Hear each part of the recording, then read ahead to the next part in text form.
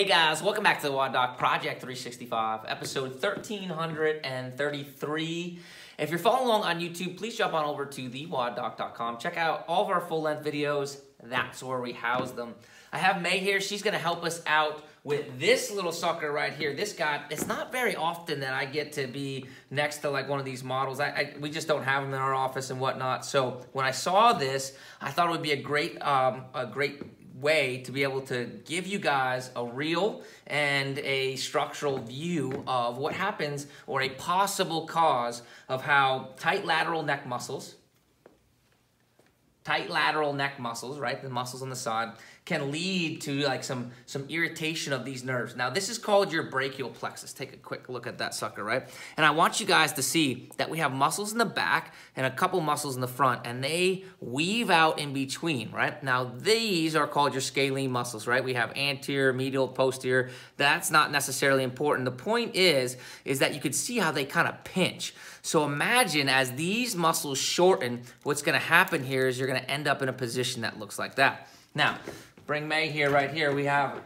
this shoulder right here. If I was to look at May, and what happens is as she starts to lean, I notice that there's a significant loss in lateral flexion.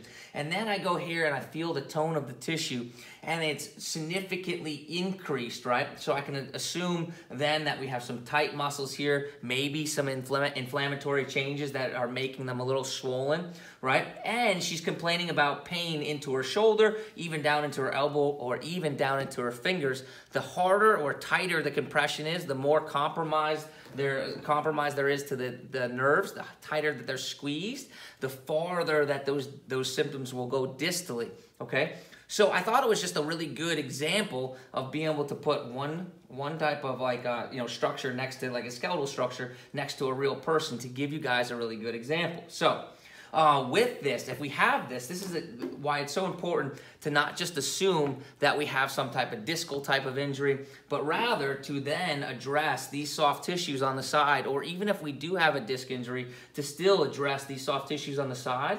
That way we can loosen up right in here, create more space in between here, decompress any of these neural structures that are coming through, and reduce any of the symptoms that can be going down the arm. So myofascial, really, really important. This is kind of your anatomical view of how this looks. Hope this helps you guys out. Questions on this, comments on this, please post it below. Otherwise, May, thank you so, so much. We are here each and every day optimizing function to optimize performance.